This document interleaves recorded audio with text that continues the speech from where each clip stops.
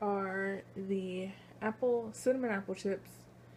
Um, this right here is the first batch. These turned out horrible. I left them in the oven for two hours, whereas these only did an hour. Um, I was thinking, or from what I read, like they're supposed to be, before you take them out the oven, they're supposed to be dry.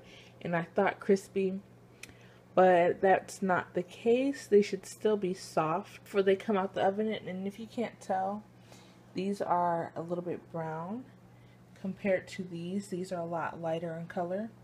And so when I, I took these out and they were um, only in the oven for an hour, whereas these were two hours. But of course the time is going to vary depending on your thickness. And these I made really thin. So I'm going to have my mom try one to see what she says. Nope, can't have it.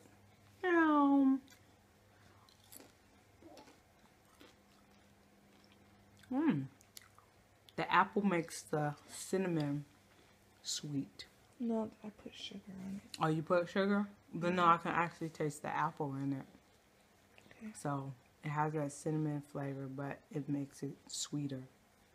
My mom likes them. I'm not so sure I like them. They kind of have like a weird sweetness to them I'm not sure if I like it.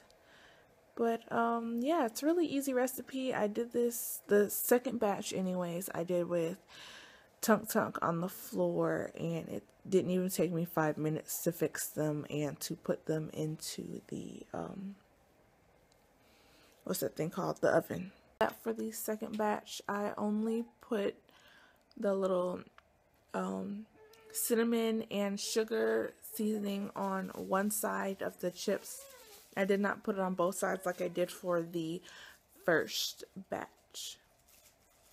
And of course, cooking times will vary depending on the thickness of your chips.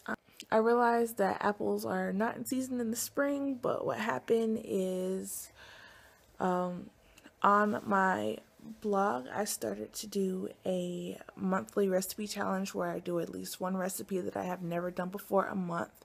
And so for the first month, I just picked two recipes, and that was the plantain chips and, and um, apple cinnamon chips.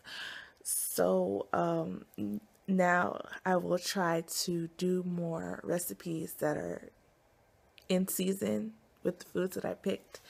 Um, so yeah, those are the two that I did for March. I have no idea what I'm going to do for April. If you would like to suggest something, um, let me know in the comments down below, or you can check out my blog, libratalks.com, and let me know there. I'm willing to try anything.